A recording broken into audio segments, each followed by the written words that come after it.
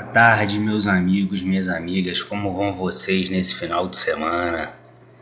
Eu queria falar com vocês hoje, cara, uma coisa que eu tenho percebido aí, tá? É um acessório fundamental para a saúde dos seus peixes que o pessoal tem deixado de lado, rapaziada. E não pode não, tá? É um acessório importantíssimo, tá?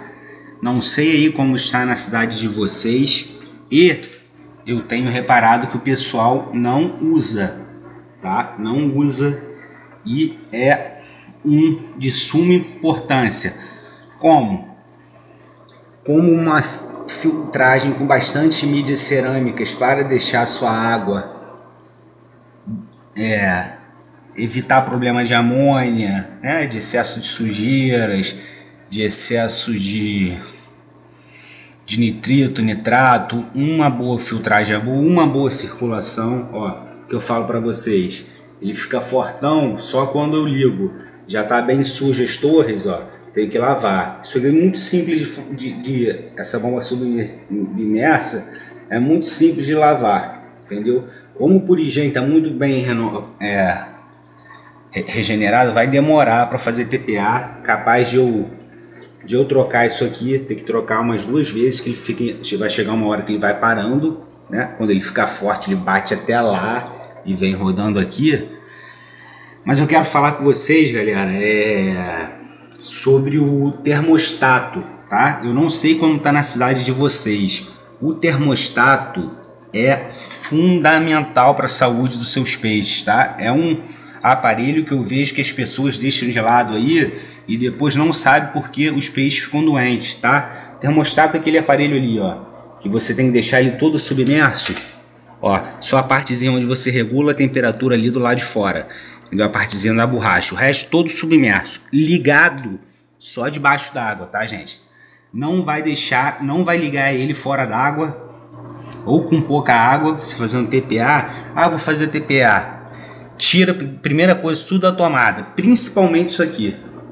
Uma vez nesse aquário aqui mesmo, eu eu esqueci, né? Olha lá, estão vendo tá, é, a água ainda tá, tá cristalina, tá dando meu reflexo aqui com, com um pouquinho de sol. Eu esqueci ele ele ele ligado, né? E, e com a água embaixo. Cara, vocês não têm ideia. Começa a ferver, começa a explodir, entrar em curto-circuito. Aí dá um desespero, começa a derreter, voar vidro para tudo quanto é lado no aquário. Não sei, não é um problema. Seus peixes podem ter morrer com choque. Você se meter a mão, toma uma porrada que pode ficar até agarrado. Entendeu? Aquilo ali, ó. Tá? E, e como, é que eu, como é que eu vou usar? Qual que eu devo comprar? Varia, tá, galera? Como eu falo para vocês, né? A, a oxigenação do aquário, né? Uns dizem que tem que ser três vezes, outros isso é controverso na doutrina nos livros e nos principais aquaristas mundialmente. Uns dizem que tem que ser seis, um, outros dizem que tem que ser oito, outros dizem que tem que ser dez vezes o valor do volume do aquário. Eu prefiro deixar sobrar oxigênio tá? Para você evitar de morrer peixe ofegante aí, até porque eu tenho muito peixe, né? Tenho bastante peixe no meu aquário.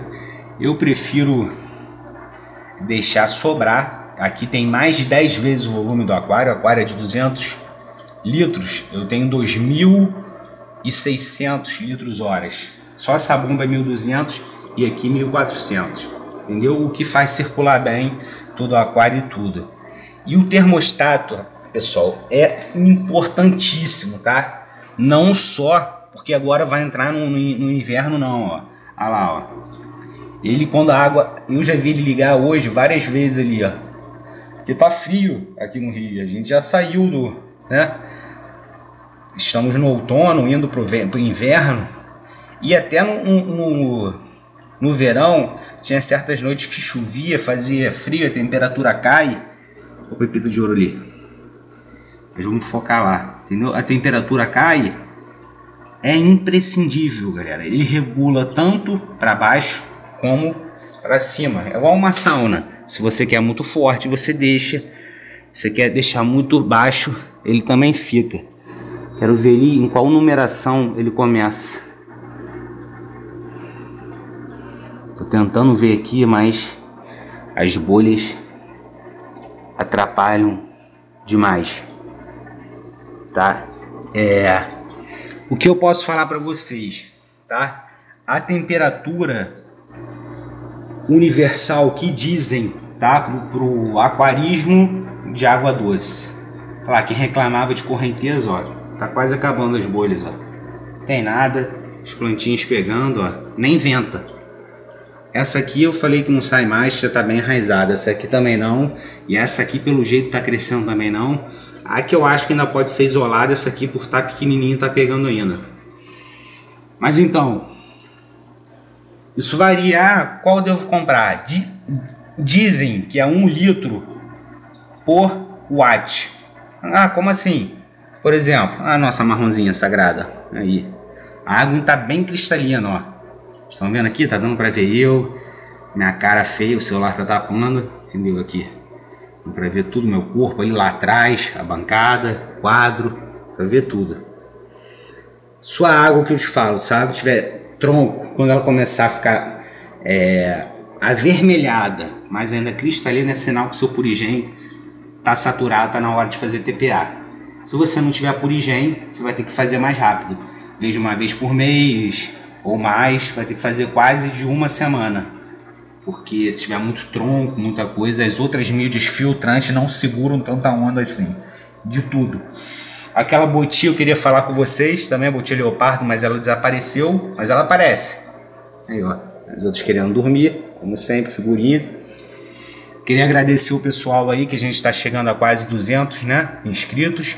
Devagarinho estamos indo, o canal é novo, não tem nem 5, 6 meses, não é um ramo de muito apelo nacional, né? não é uma coisa que chame a atenção de aquarismo, é um, é um ramo que está em expansão, em crescente. As pessoas que eu conheço que estão trabalhando com isso estão se dando bem porque é um ramo que está crescendo, o pessoal está tirando aquele mito que tinha que, que aquário dá trabalho, que tem que. Era aquelas placas aqui embaixo que subia aquela pedrinha só com compressor. Acabou isso. Vocês veem que eu não mexo dentro do meu aquário. Quanto menos você mexer, quanto maior seu aquário, menos você vai mexer. Existe bombas submersas que o pessoal gosta de usar para jumbo. Fora isso, tem um amigo que ele tem uma torre dessa aqui. Só que o aquário dele não é assim não. Ele é. Supor ali, aquela bancada ali assim, tá vendo? Daquela parede inteira ali até ali. Só de um lado, essa torre aqui, você pode acoplar vários copos nela. Só de um lado ele tem uma, tem duas, que parece duas, duas bazucas de oxigênio, para jumbo, entendeu? Com cinco copos de oxigênio, fora um hang-on, um, fora um samp por baixo, ele põe tudo ali necessário, só tem só tem peixe monstruoso, só peixe muito grande. Tem, tem muito peixe sinistro, grande, pirarara, só peixe absurdo. É... Então, o que eu falar do termostato? O termostato é fundamental e como, como você deve comprar? O ideal que o pessoal fala é um litro para cada watt. Ah, como assim? Se você tem um aquário de 25 litros, 25 watts. Se tem um aquário de 50 litros, 50 watts. Se você tem um aquário de, de 100 litros, 100 watts, 200 litros, 200, 200 watts, 300 litros, 300 watts. Eu não sei tá, se existem termostatos com potência maiores que 300 watts. Não sei se existe de 500, de 1000. Caso não tenha, você tem um aquário aí de 600, de 1000 litros, você compra separado, né? Ah, eu tenho de compra 4 de 300, que vai dar 1200 watts para mil litros. Pô, mil litros é maior que uma caixa d'água, um aquário muito grande, muito grande. Eu ainda não vi. O maior que eu vi foi de 600 litros e é uma coisa gigantesca, tá? E como eu falo, sempre é bom somar, sempre é bom deixar sobrar. Esse aquário é de 200, 200 litros. Eu tenho termostato de 300 watts. Ah, o de 200 serviria? Serviria. Mas ele trabalha, trabalharia no limite dele o tempo inteiro. Entendeu? Eu prefiro deixar sobrar. Esse aqui não acende tanto tempo. Ah, e a temperatura? Rapaziada, se for é, termostato de Numeração ímpar, melhor ainda, 27 graus. Perfeito. 27 graus, seus peixes já não pegam uma doença chamada ictio, que começa a dar bolinha em um peixe, no outro. Para tratar é difícil, só com aqueles remédios bem venenosos mesmo. Você tem que aumentar a temperatura do aquário e colocar aquilo ali para vocês terem ideia. Já tive esse problema aqui mesmo com termostato. Olha como fica a silicone do, do que segura o vidro, aquele remédio eu é, acho que é uma, uma gota para cada litro ou, ou uma gota para cada dois litros, ou seja, eu tinha que pingar aqui 100 gotas do remédio. Se você não tem uma oxigenação, uma circulação muito boa, a chance de você matar todos os seus peixes envenenados é muito forte. Então, para vocês evitarem esse tipo de problema, cara, ó, tá aqui, ó, um termostato é fundamental. Tenho visto vários aquaristas, né, a gente criou um grupo pessoal maior, é, inclusive criança, cara, tem criança que está querendo fazer parte do grupo. Eu vou falar para vocês, cara, deixa para ter aquário quando vocês estiverem maiores. Que criança gosta de brincar, gosta de jogar videogame, gosta de fazer muita coisa. Eu, quando era criança mesmo, eu tive vários aquários que depois eu largava, que eu enjoava. Isso não se faz, entendeu? Que aí eu ficava, pô. Aí tinha que ir lá no lojista entregar os peixes Entendeu? Tinha que dar para alguém, não tinha quem achar e você acaba, acaba dando um fim no peixe que não merece. Eu, porque tem vindo muita criança achar que aquário é você pegar os peixes, tacar num, num, num balde com água da pia que vai ficar tudo certo. Não vai. Os peixes vão morrer, você vai ficar fazendo chacina aí, vai vir gente me falar que tem cascudo atacando, que tem peixe morrendo, e eu não gosto disso, entendeu? Eu não me sinto bem.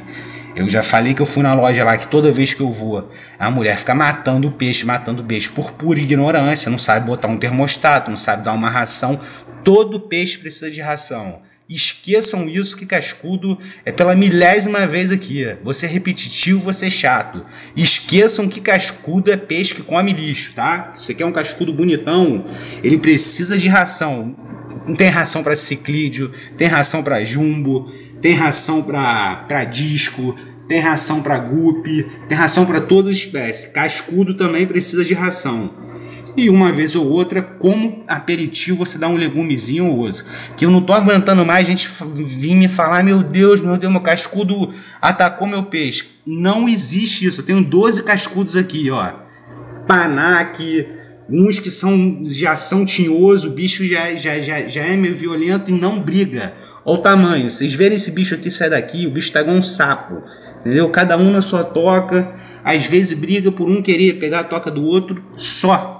Agora, por chegar ao ponto do cascudo atacar um disco, atacar um japonês, você tem que pensar no quanto tempo ele ficou ali sem comer nada. Comendo merda, comendo sujeira, não vai comer, não vai se alimentar.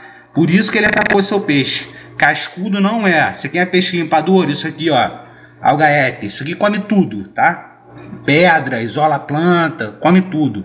Algaete é um peixe limpador. Otoncínclos também são. Flying Fox. Se você mexer aqui, ó, toda a alga que gosta de comer aqui, ele come tudo. Mesmo assim, quando eu dou a ração de fundo, eles vão lá e dão uma beliscadinha. Até os peixes limpadores, até os peixes que são peixes de comer sujeira, não dispensam uma ração de fundo, não. Para vocês verem como é que são como é que são as coisas, tá? Porque eu não aguento mais vir gente me falar, ai meu cascudo, meu cascudo. Cascudo é um, é um peixe, tá? É difícil.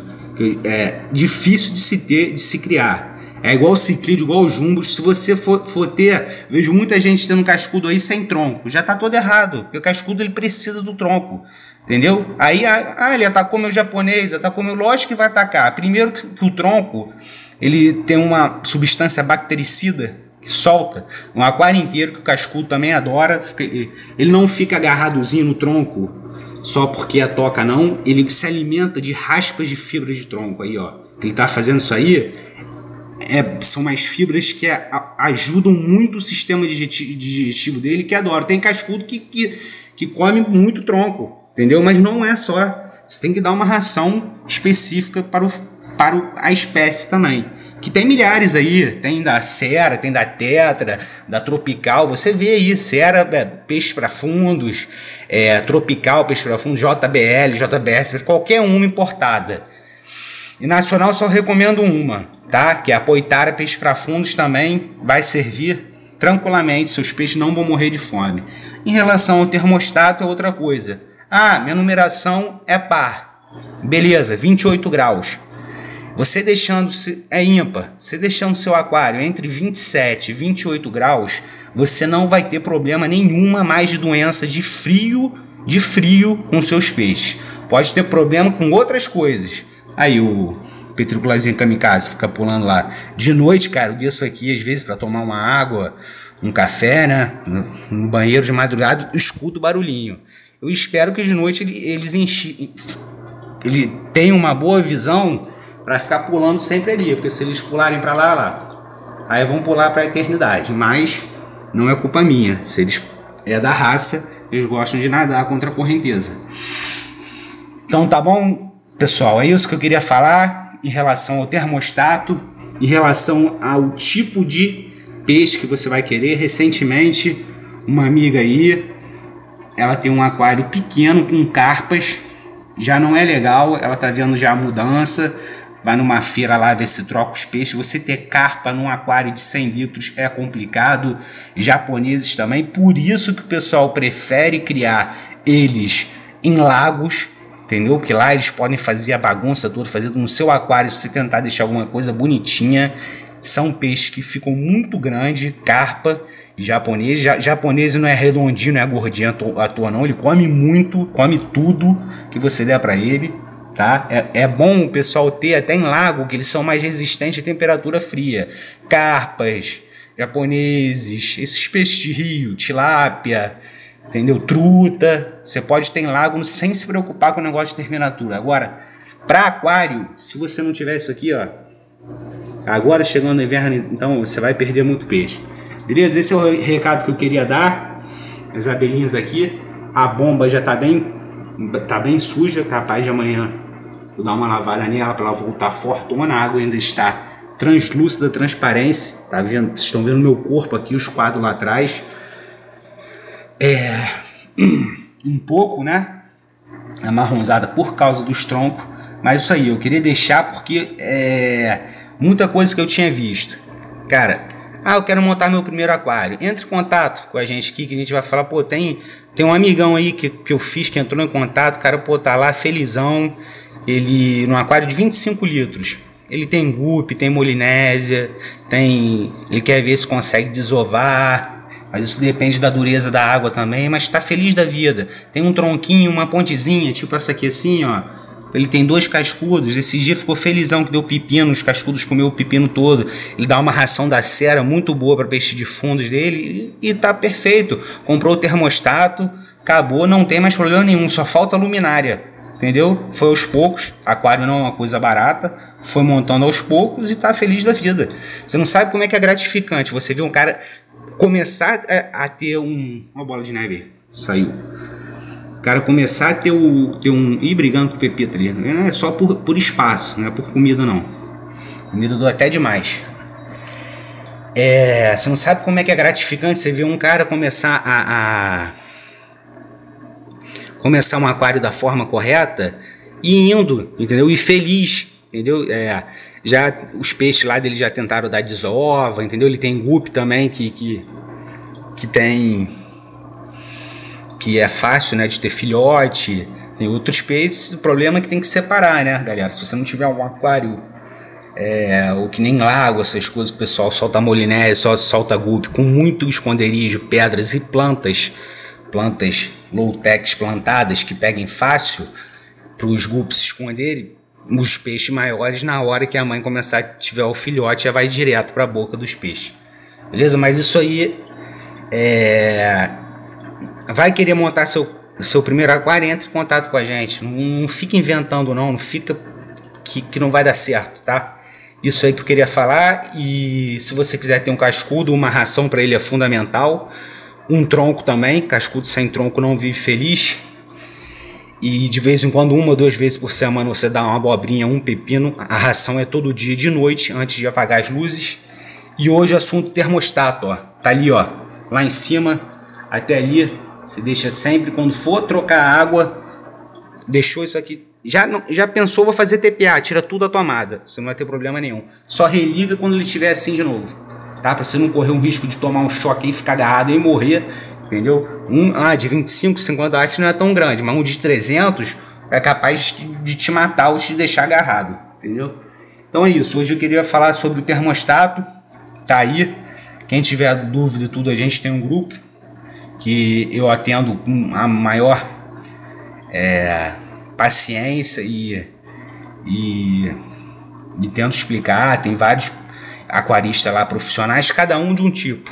É, a, a graça do aquarismo é essa. Tem, tem, um, tem um rapaz que gosta de peixe de cardume, gosta de acará, tem outro que gosta de disco, tem outro que gosta de barbo, sumatras, barbos, do, gosta de vários tipos de barbos diferentes, bacana. Tem a menina que botou a carpa, mas ela já está pensando em mudar, já, já pegou umas orientações, vai ver um outro tipo de peixe, que a carpa está muito grande, muito 100 litros.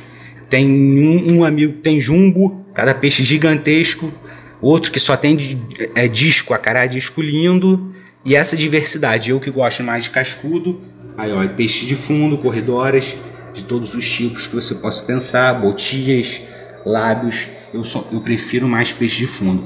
Deixo esse neon inese só para dar uma gracinha aqui em cima, mas os meus preferidos são esse aqui. Esse aqui então nem se fala. Então é isso, hoje eu queria deixar aí um equipamento que eu vejo muita gente não ter, termostato é fundamental. Beleza? Um forte abraço, um bom final de, de final de semana. Fique com Deus. Enquanto Deus permitir eu tiver saúde, eu vou trazer muita coisa bacana para vocês aí, tá? Que chegou um equipamento novo que eu tava precisando. Ele chegando e eu tô resolvendo um problema de internet que não tá pegando direito. Aí eu vou, primeira coisa, eu vou lá no Aquario filmar tudo para vocês, para vocês verem, acho que é o maior aquário na América Latina ou da América do Sul. Vocês verem que coisa linda. Vários amigos meus aquaristas já foi. Eu ainda não fui porque tinha que resolver certas coisas que já estão sendo resolvidas, várias coisas, problemas pessoais que não vêm ao caso. Beleza, galera? Hoje então vai ser a, o termostato, tá? Que é fundamental. Para que que serve? Como devo usar, que temperatura deixar. Beleza? Um forte abraço, fique com Deus e até o próximo vídeo. Valeu!